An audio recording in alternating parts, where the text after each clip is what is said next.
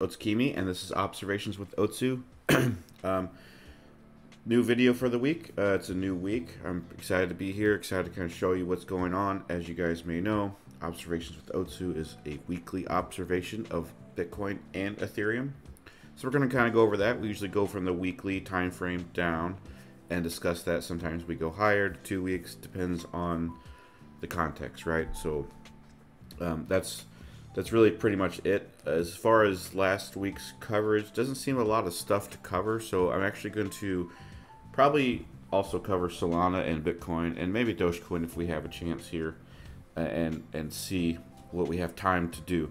Um, I'm also going to probably do some quick thoughts before the charts uh, to talk about KuCoin. They're going KYC um, this week, and so probably probably start covering maybe like two to three minutes worth of news as well. See if we can fit that in.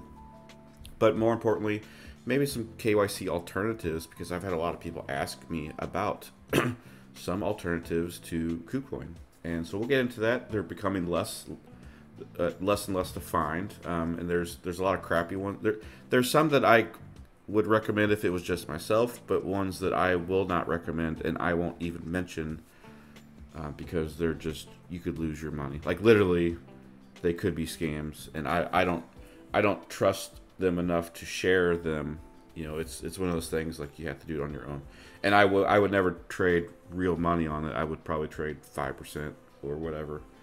Anyway, we'll get into that. Um, so that's kind of the recap. Before all this, I'm going to share a little bit about what I'm doing as well, because I got a lot of stuff coming up, and so that's pretty much going to be the summary for the video. So let's just go ahead and get started.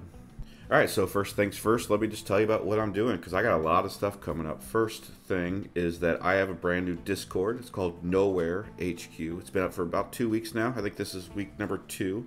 And go ahead and sign up. It's it's on a lot of my a lot of my tweets that I've had. I've, been posting about twice a week now. Um, but I'm gonna put it on the description here. Um, on the if this is a YouTube link, I'm gonna put it there, and I'll probably just put it in a pinned tweet as well. Uh, coming up this you know today or perhaps tomorrow. And basically it's a it's a way for all everyone it's it's free a way for everyone to kind of communicate with me better because i've noticed that i try to grab dms from telegram from twitter things like that. It's really hard to do. So it's a way for everyone to kind of it's almost like an otsukimi branded community so to speak and i don't i don't like saying that because um, i'm trying to be humble about this but it's a way for you to talk to me about charts, uh, trading ideas, and it's for a way to share trade ideas that I have to you as well. A lot of those trade ideas are just me scan, uh, scanning the charts, and so I just share them. You know, and, and I've noticed that over that's kind of how I started my brand, honestly. Like, and that's how most CT people did as well. Like, I just share my thoughts. People are interested in. So now this is more of a dedicated way to do that. And so you'll get trade ideas. You'll get um, You'll get one video a week about going over charts. You'll get another one video per week about requests. And so that's completely free. I do that completely out of my own time, my own will, everything like that. Um, in addition to that, there's also a trading challenge where I start with $30,000. I made $620 last week. So we, we're, we're into one week of that. So that, that's only about 2% relatively speaking, but um, it's okay. I've got two trades open right now, and I'm I'm up about 150 bucks, so not much, but overall, seven eight hundred dollars for one week's worth of work.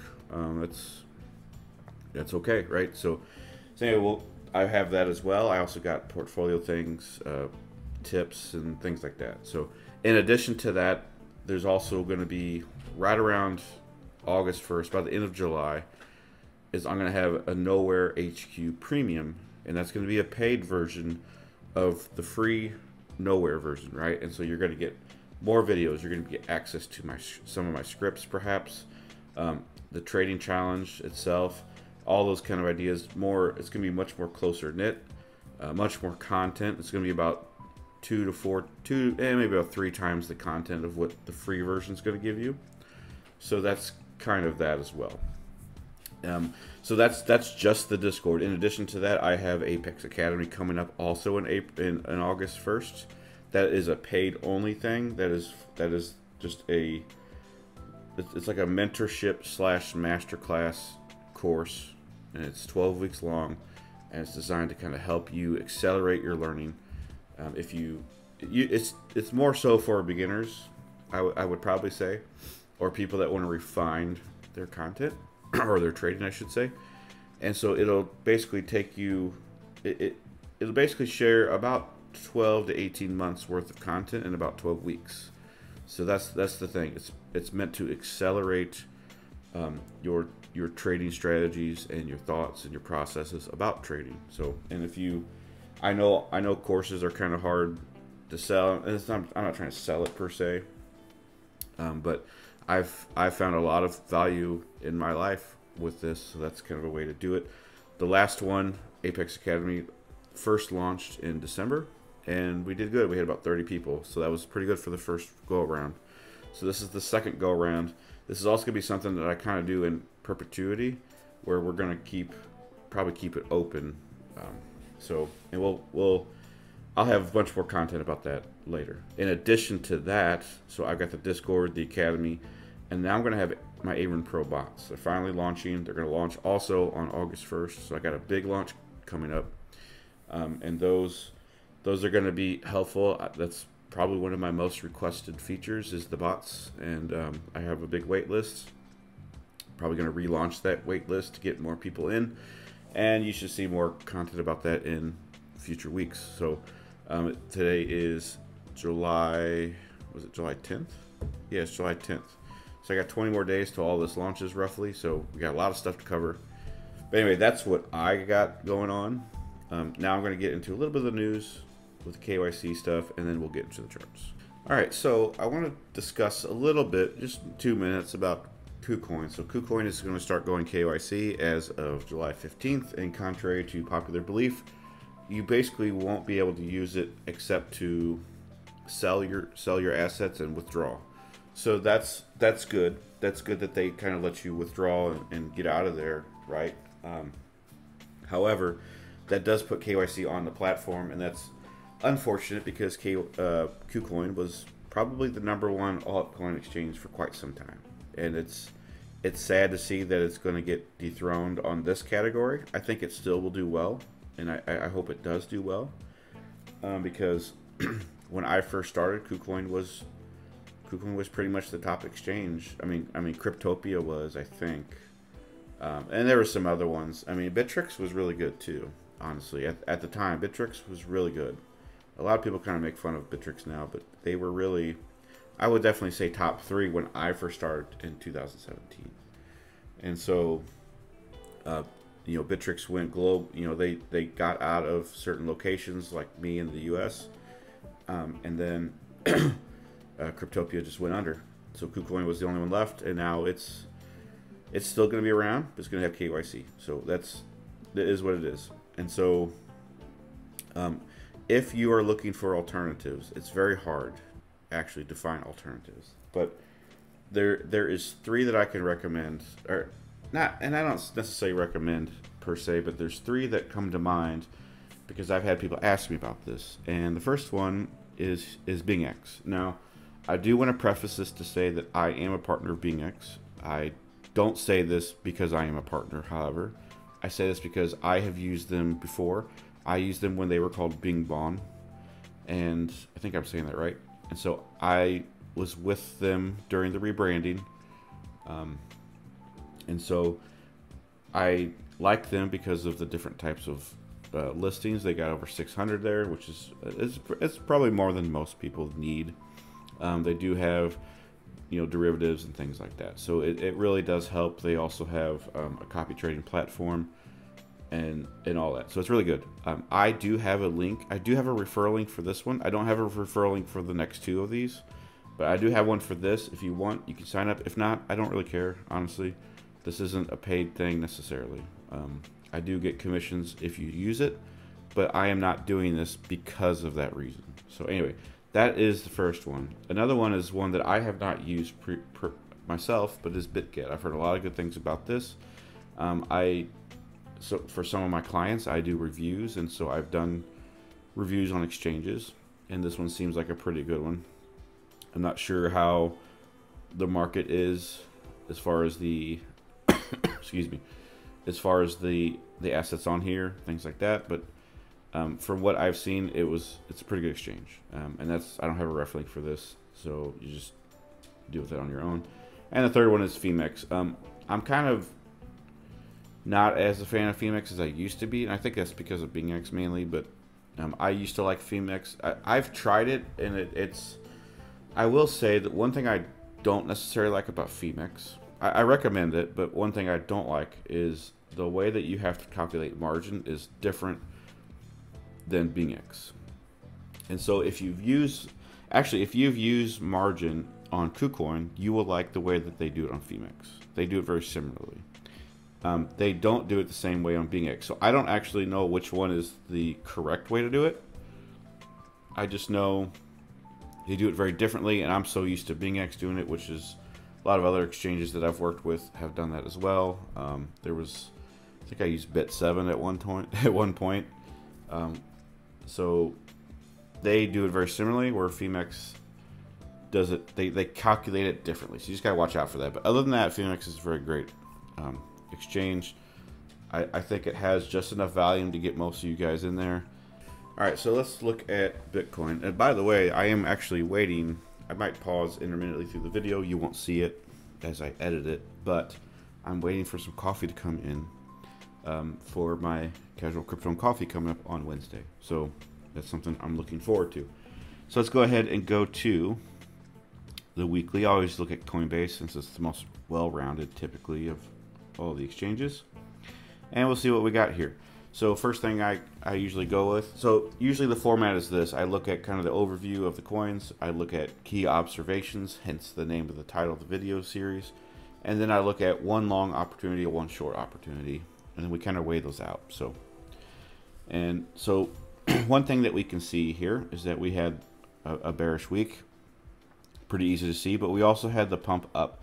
And this is something um, you can you'll be able to see this easier on the daily as we had it was it was this candle right here it went above so we had kind of a sweep of the highs and then we kind of went back down and we also there's two things to note one we had the high so we had a local high one two it rejected and made a low versus the candle so we have that bearish engulfing so that's a bit of a concern unfortunately if you are a bull that I think we're going to get a little bit more sideways at a minimum or downtrend um, at worst case scenario. So I think there's a few things to keep in mind over the weeks that we have talked about this. I've said that these impulses are usually a one and go scenario. They don't last weeks and weeks and weeks.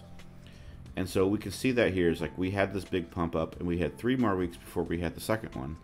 We had one pump up here, a pretty decent one here, but then we had pretty much a month until nothing else. And even after you count for this one, we had two months of bearish price action. So, but what I can just tell out of this is like, just because things, we, we can do this a few different ways, right? One, we can say this means a whole lot of nothing because this meant a whole lot of nothing and so did this, right? So we need to understand that this is more of a sub-trend context versus a main trend context. That's the first thing. Second thing is we need to just be patient and wait for a proper move that we want. Um, if you are a bull, and I, I am, I think there's still good reason to be bullish. Um, I'm going to go ahead and put on my color script here, and things are still bullish for me as long as this is blue. It's pretty good. One thing we can see, and this is the band is based off the Aroon, and based on the Aroon, we can see that we're going into a bearish consolidation. Now, this is a pretty high one, and so we are up here at about the 90% range versus the 65% range. So that's about so eight uh, candles, so about eight weeks of potential bearish price action between this range, between this candle basically, and you could probably actually probably Aroon does the highs, so probably within this box. So we could spend potentially eight weeks within this box, and that's is worth noting because 99% of people will get they will get bored. They will try to over leverage they will try to cash out and just forget about the charts. And that's that's critical because that's what we did here for two months and that eight weeks is basically two months again so we could have basically the same thing over again. A lot of people got bored and then they started along after it was way too late. Okay, and so that's something on the daily we looked at. Is we had, you know, and I even mentioned this. We had this wedge. That we had the fake out, the pump back up. That was your sign to long. Once you get a wedge, and this is pretty much so standard across the board. Once you get a broke breakdown of a falling wedge and then a break back up again, your time was actually to long here, but I would have understood if you waited to long here. So that's that's a clear sign to me, and this is based off of this liquidity area as well. So that was very crystal clear. Once we got this, that was my time to long. I, I, I long somewhere in here. I don't remember exactly, but that's that's what that looks like. So let's go back to the weekly. And but we see everything else looks fine. We got the bounce off the 50 uh, weeks ago, almost a month ago. Everything looks okay. We got this gap right here, which is which is pretty good. You want a gap between this black line and the blue line, the blue uh, shaded area. That's typically when you get something like this. So when you get the green dot plus the gap. So we'll see how that goes. Um, that's kind of how these start out too. But we'll see. I I can't verify that per se. That's just what I'm looking for. And I, I say that to say, don't get discouraged because we get one little bitty small bearish candle. Okay, I think I think it's really insignificant in the long run, and two, it's a good way to get you distracted from a major move. Um, overall, that's about it. We can look at a few different things here. We can look at this from these two candles here at like so. So we're kind of at a good area of resistance. There's there's nothing unusual about this necessarily, right? Um, this is where resistance should be. Um, we got a very and, and, and and technically we've had you know three going on our fourth you know rejection right here, but this isn't a big rejection. And I I said this one or two videos ago as well. Depending on how fierce the rejection is, is how we should treat how bearish this is. And so far, we haven't gotten a good bearish rejection just yet. I mean, this is not this is not a good bearish rejection, and we can see this on the daily. This is a this is a consolidation period, and so this is why I'm still bullish here. I think there's plenty of reason to still be bullish. All right, so let's go over the daily now, and we can have what we have here. We can identify basically the the top of the line here. So we've we've identified this previously in, in other videos, right? And so what we can see here is we gathered a, a run up. We had a, a, touch up, so we, we went to a new high. We had that rejection. That's what we saw on the weekly. but we still have this like little push here. And so with that being said, we could we could keep this was it where does it go? There it is. We can keep this here, but we're going to go ahead and get rid of it because it's probably better just to look at this from a a range here. And so now I, we can look at this in two ways. I've I've seen this interpreted by great traders in multiple ways as well. We can look at the highs and calculate that the highs and lows and calculate in that into an order block. The problem is we have a sweep here of the lows and we have a sweep here of the highs, so we would have to adjust that. Now I don't I don't particularly do that. I don't think that that's good trading methodology to do that. I think a better way to do that is just to target the candle bodies instead. and so we have this one up here and we have this one right here, which happens to match um, both of these. So this is a much more clear understanding to me because we're, we're dealing with a daily time frame. Um, so wicks in these situations don't matter as much to me as they probably should, and and that's okay. Um, we can we can look at this at a different angle though, because we also have a bearish divergence. Here's the divergence, and we have a lower low with the RSI. So the bears take precedence right here, and so that's the key observation that I have for Bitcoin. That's probably my number one key observation for Bitcoin is we have a divergence and a failure of the highs. And so with that being said, we can look at this as we can expect more bearish price action if we get it. If we get it. So the idea is I'm going to look at this as a short opportunity first. And so what I do is, as you guys all know, I wait for the break of a range. So we have to have price action break below. That's where we would enter our short. I'd probably, to be safe, target something like so. I could also target the mid just above these this double top here, and I could either target right here, which at this at this area, or I could target right here where this bullish engulfing is. And so that gives us about 2.43.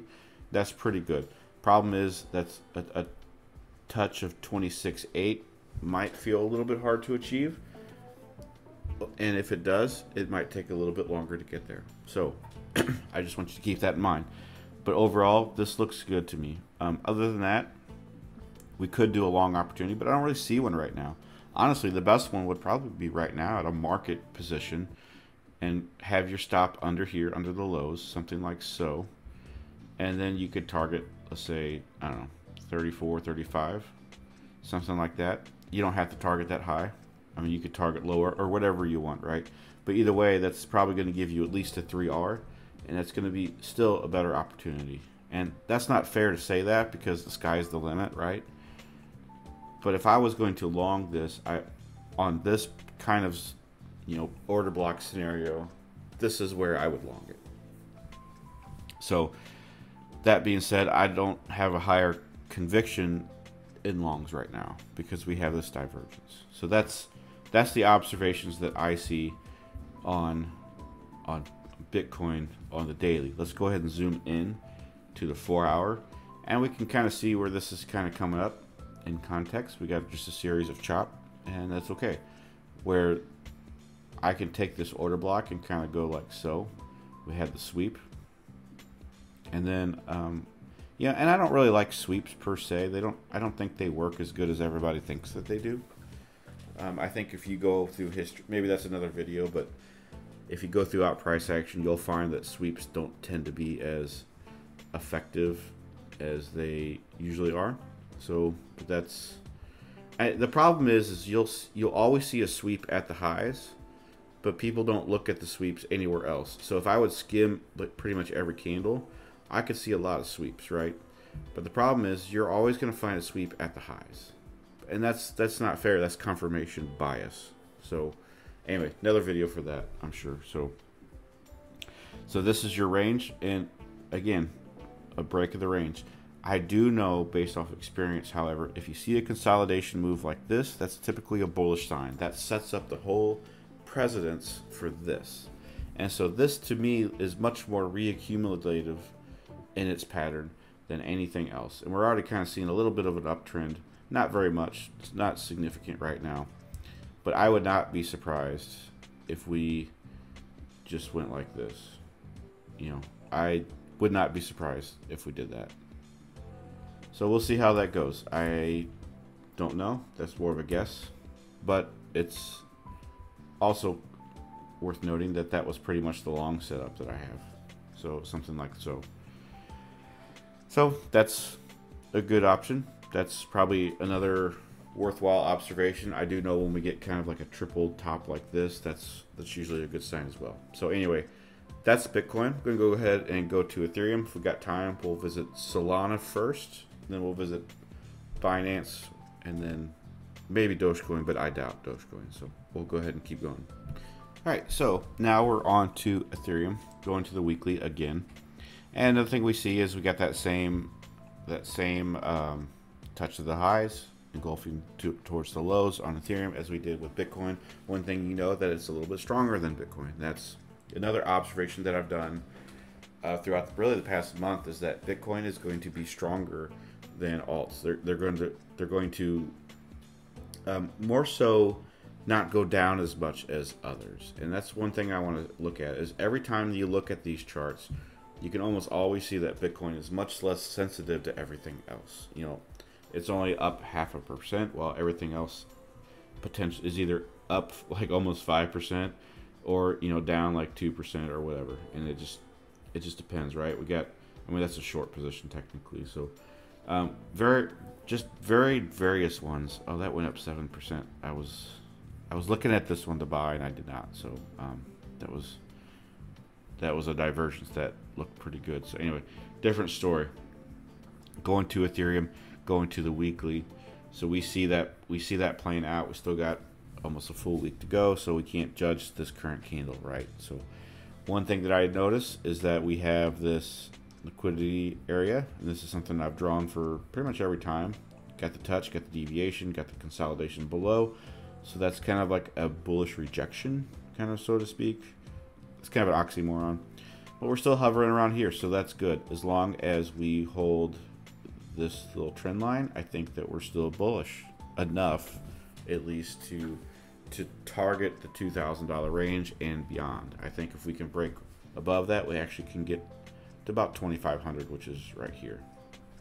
Um, we also have the Aroon bullish consolidation, and if you notice, we've had that ever since this candle, and we've had, excuse me, we've had that consolidation inside the top part of that, so that confirms that bullish consolidation.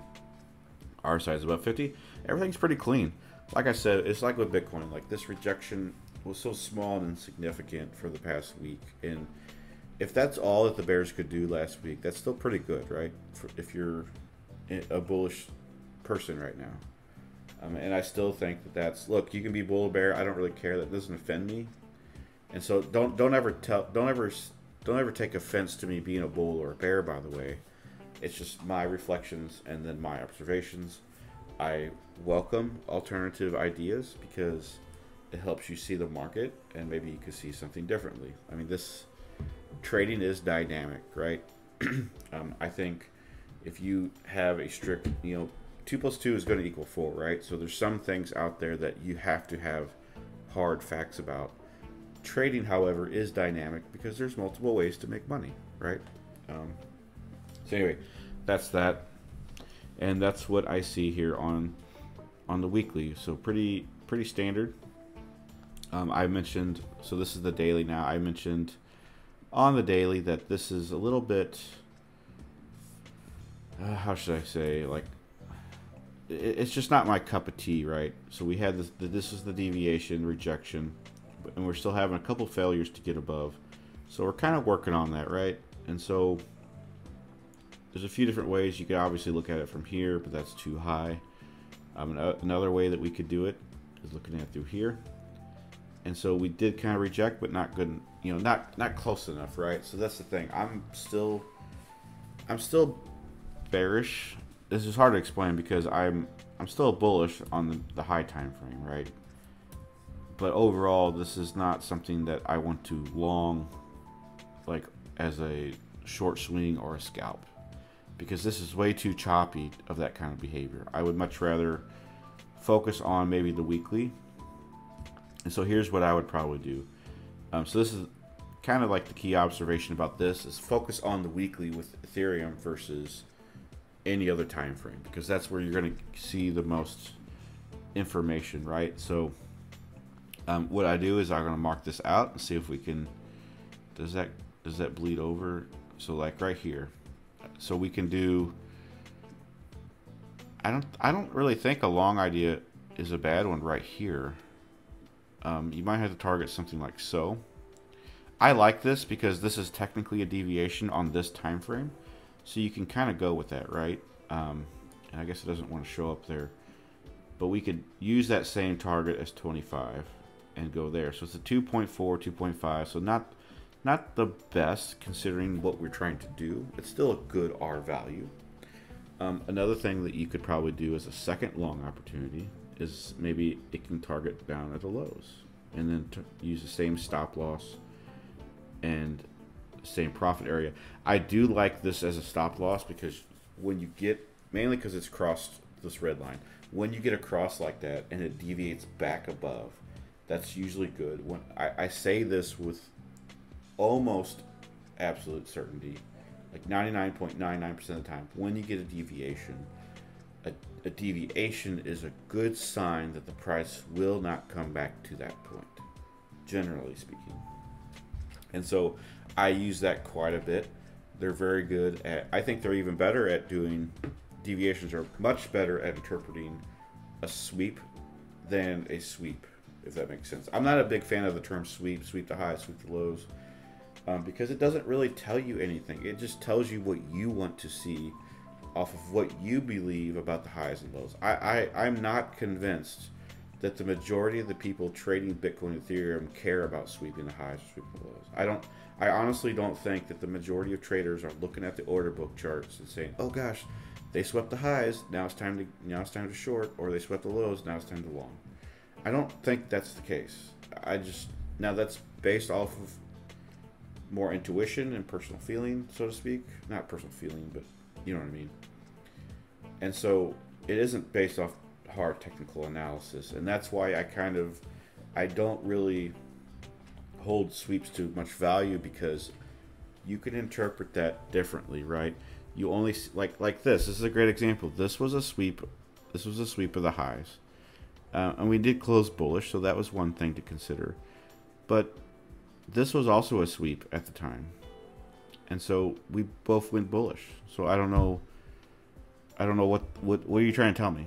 You know that that doesn't make sense to me, right?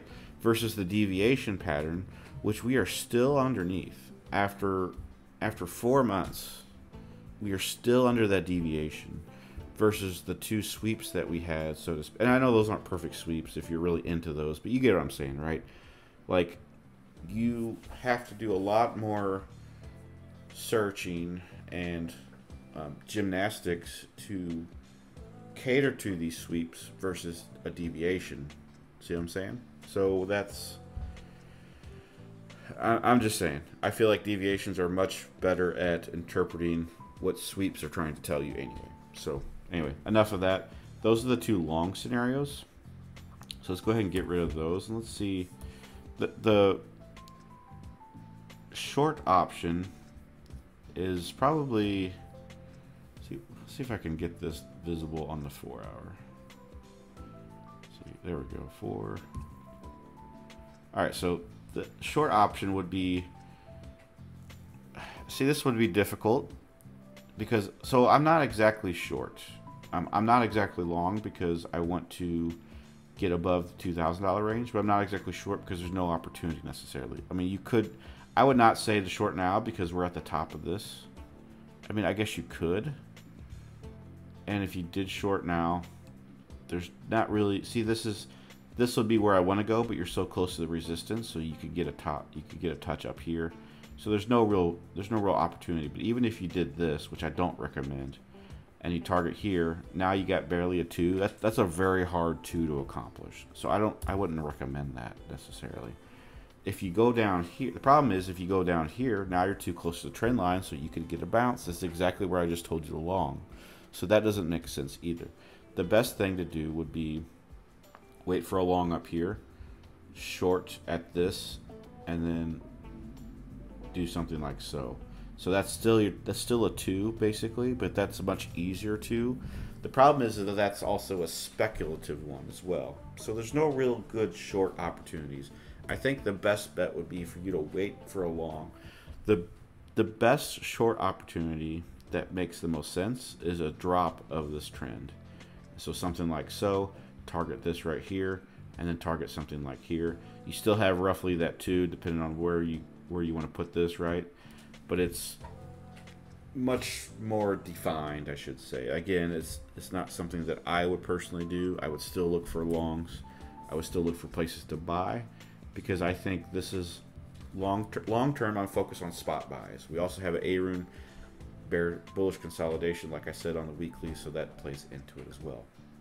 So anyway, those are the observations for Bitcoin and Ethereum and my short and long opportunities. Let's go ahead and do Sol, and then I'll tag on Binance at the very end, and then we'll end the video. All right, let's go over Solana, and then we will finish this out.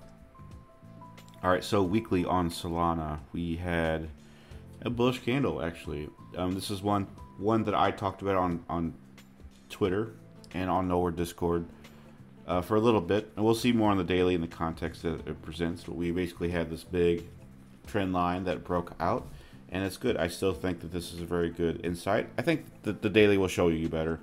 But we do have a rejection here at the 50. We need to break that first. We have the bullish consolidation on the Aroon.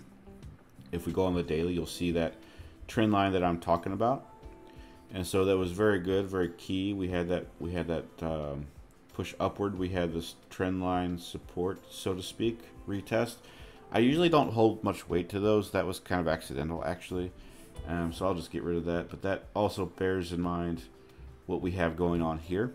Um, so as far as a key observation for Solana, the big thing is when you have a trend line like this, it tends to run numbers. Okay, so don't, when you have a big trend like this, you can't just ignore it, so to speak. Um, so one thing I would do is even if even if you just want to blind long now, the best option would probably be something like so. That would be a little bit riskier, but that's still worth it. That's a really good solid six. Um, another thing that you could do, we'll just kind of copy and paste that. We'll kind of slide this over here and then go like so. Another thing that you could do is maybe something here past this little rejection point here.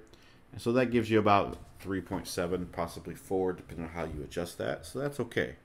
Not not super, not super high, but good enough. And I think, know, obviously, you can double the risk, triple, the, whatever you want to do, right?